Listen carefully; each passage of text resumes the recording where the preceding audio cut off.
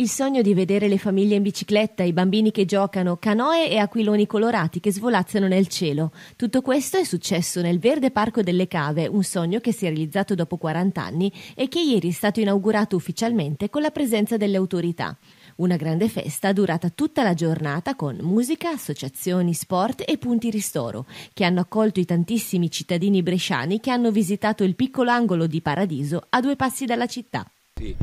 penso di sì, penso che già oggi molti hanno visto la realizzazione dei propri sogni, delle proprie battaglie, dei propri impegni, sono le associazioni del territorio, tante donne, tanti uomini che hanno voluto questa cosa questa realizzazione, e, però sognare non basta, bisogna realizzare e, e oggi è, consegniamo una realizzazione e fra qualche settimana consegneremo la seconda realizzazione che è il secondo lago e in autunno il terzo lago perché sono già quattro i laghi di proprietà comunali strappati dalla proprietà privata, dall'escavazione e dalla produzione industriale e diventate grandi aree di mitigazione ambientale, è una cosa bellissima e,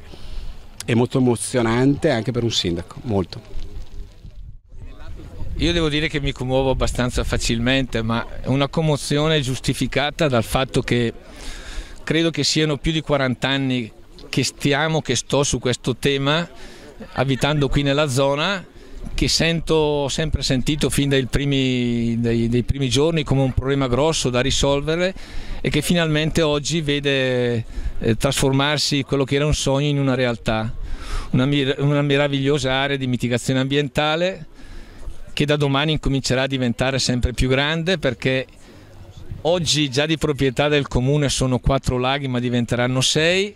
Questo è il primo finito e attrezzato, fra 15 giorni consegneremo il secondo.